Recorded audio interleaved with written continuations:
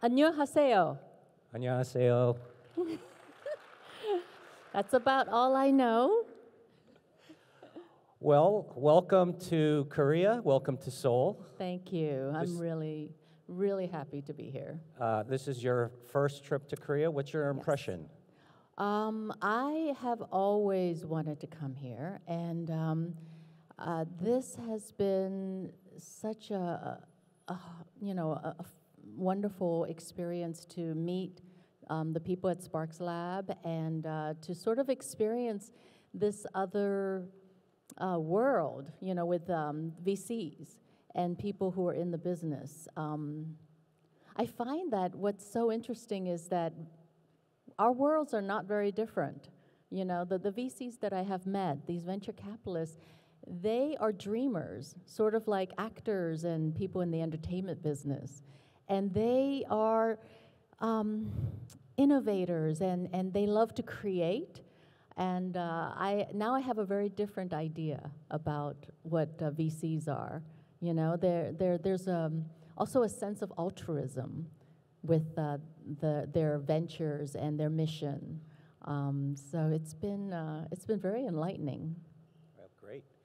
Um, Korea's place on the world stage has been dramatic in the past 10 years, and uh, even more so in the last couple of years with the pandemic, with Korean content, with uh, K dramas, with K pop exploding. Uh, it almost feels like it happened overnight, but there was a time when you and I started in Hollywood Oh, yeah. where Long we ago. looked completely different than everybody else. When we walked into a room, Yes. we were considered foreigners. Can you tell us what your journey was like breaking into Hollywood as uh, Asian American? I think that's the big difference between um, an Asian American actor versus um, performers and actors and musicians in Korea, let's say. Uh, we have immense challenges of overcoming not just stereotype and racism, but very, very limited roles. And uh, I know when I first started, um, the good thing was I was a, I was naive and uh, uh, probably, uh, you know, not too smart up here.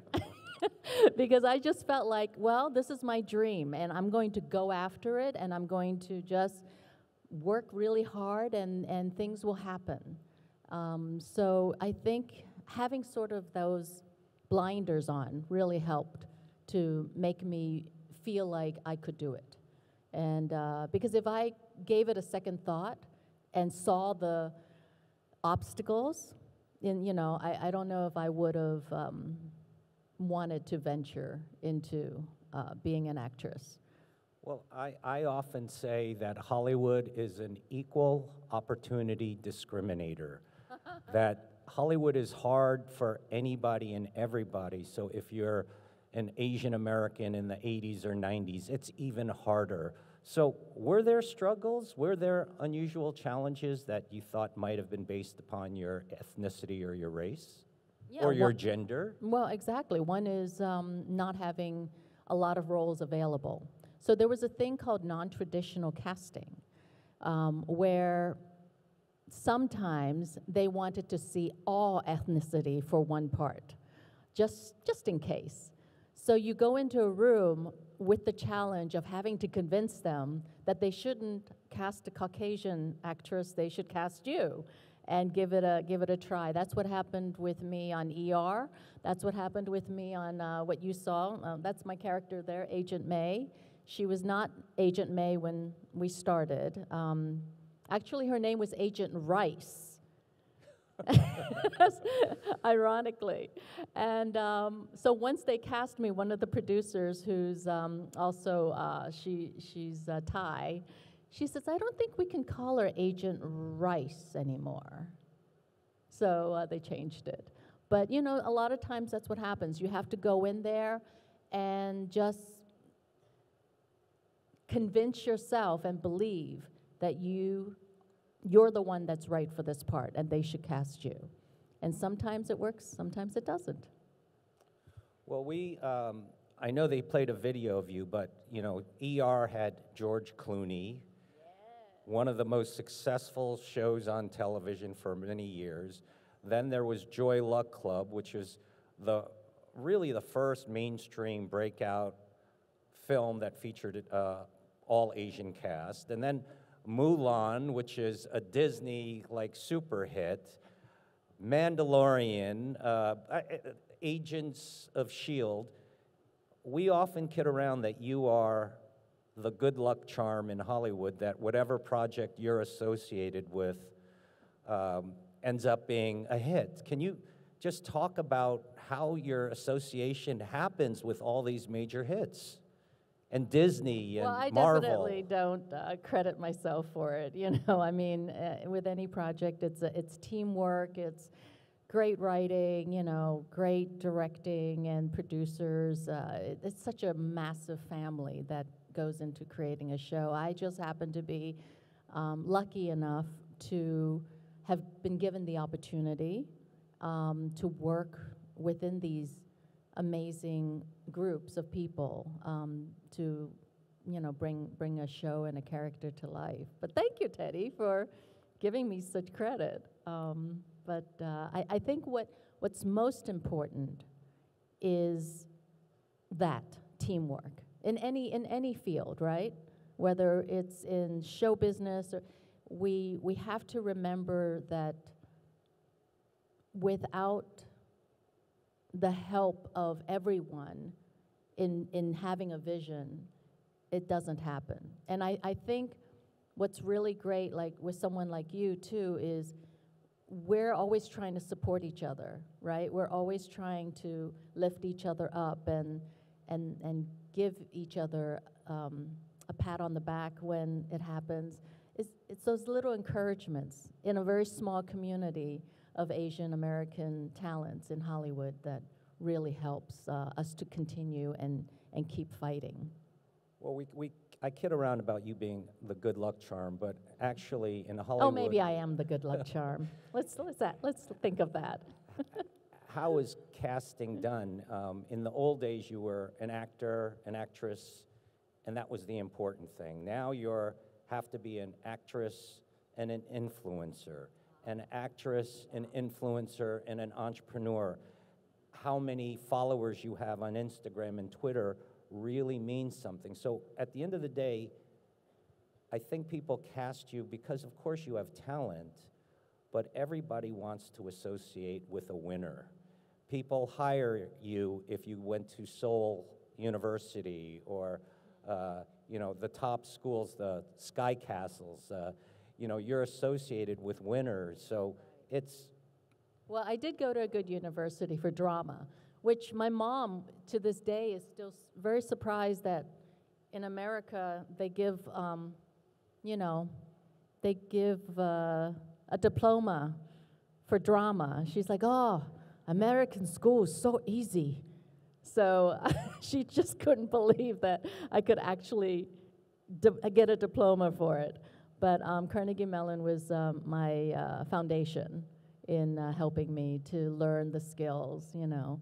And, uh, and once again, I, I, think in Hollywood, it's a very small community, um, and especially for Asian Americans, it's an even smaller community, and your reputation is also something that is very important.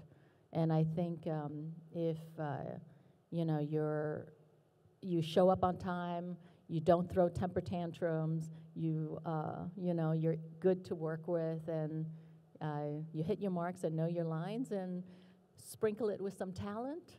Um, it, maybe that's my good luck Great. right there. uh, Joy Luck Club was how many years ago? And uh, 25, I believe. 1995. Yeah, about that. 26 now, maybe. Yeah. So uh, recently they announced a sequel. What do you think about the timing?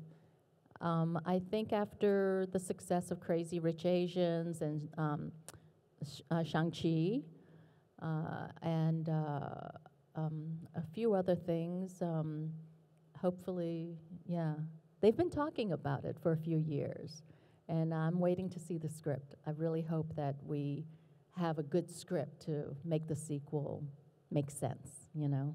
But I'm very excited. I, I, I still keep in touch with all my my uh, my sisters, my Joy Luck Club sisters, as well as all the moms. Uh, we're a very close family. Great. So uh, we, we've talked about K-pop, we've talked about K-dramas. Uh, you're here for a reason. We, we also should cover K-beauty. Can you talk a little bit about that and your interest in K-beauty? Um, I love K-beauty. I think not only do they uh, back it up with science and, you know, pure ingredients and and just there's so much passion that goes behind the research for K-beauty. And, uh, and I think it's extremely complementary for Asian skin. Um, and uh, the one thing that I do love is when Asians say I look young, then I'm like, yes, I, I'm doing something right. So I'm very excited about um, going into um, uh, a venture with, with a K-beauty um, uh, developer in trying to come up with my own line of uh, beauty creams. Great, great. So, Yeah. one of the funny things is that uh, we, we know that you've been in the business. We can consider you a veteran. You're of that certain age. But your fan base is wide ranging male, female, young, old. What, wh- why is that? Well, because I'm fortunate enough to, um, well, maybe because I look young, Teddy. No, I'm just kidding. I think it's because um, the projects that I've been able to do. I mean, I am a, such a nerd at heart.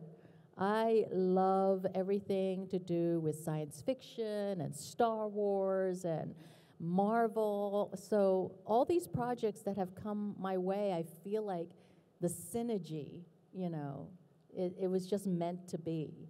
And um, I mean, as a kid, I, I dreamed about being on Tatooine and, you know, I wanted to be a Jedi, but so I got cast as a, an assassin. Still, still a great, great gig. And I, I think um, it's, it's those shows that bring me all the new young fans. And I, I have to say, Mulan. Mulan is everlasting.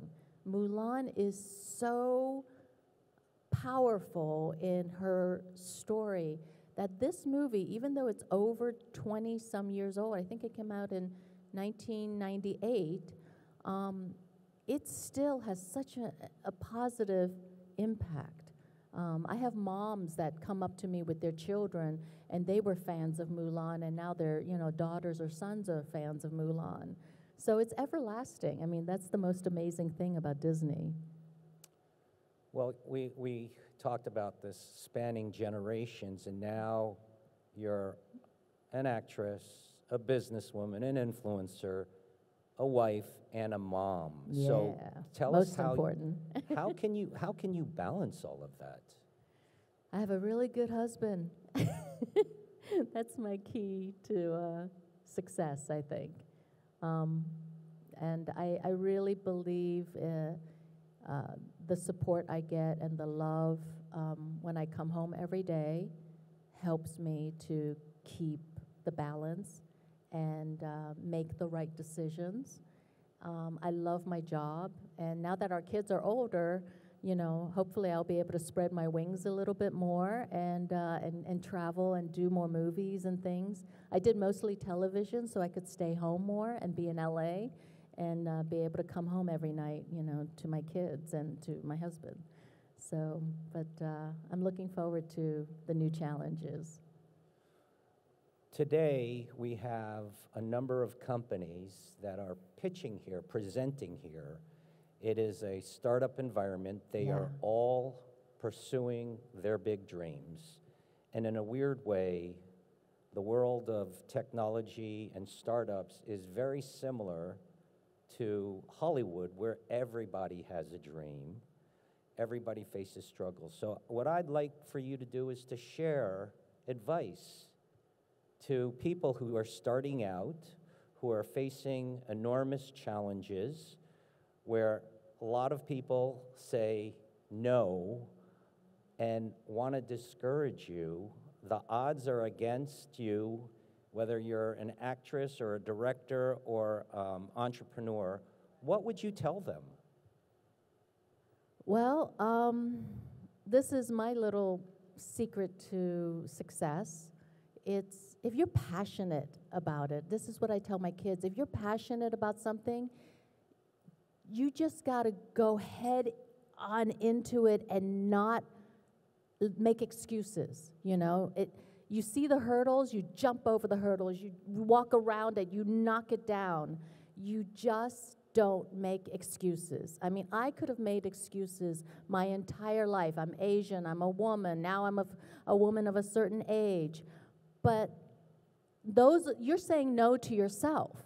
So I think when you have that passion, you just latch onto it, believe in yourself, and don't take no for an answer. You know, just keep going and keep doing it and look for that finish line. And when you get there, make a new finish line for yourself.